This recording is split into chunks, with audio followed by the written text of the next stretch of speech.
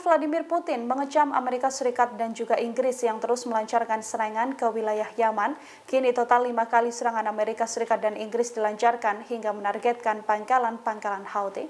Rusia mengutuk keras aksi Amerika Serikat dan juga Inggris. Vladimir Putin menegaskan tak ada lagi negosiasi yang bisa dibuka lewat serangan tersebut. Moskow juga menuduh Washington dan London secara sengaja menabuh genderang perang dengan Houthi Yaman.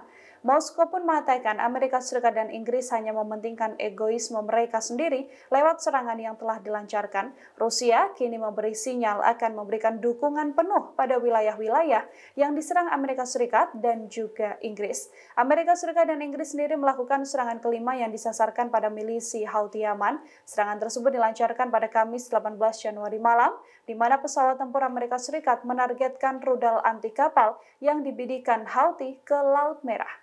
Download Tribun X sekarang. Menghadirkan lokal menjadi Indonesia.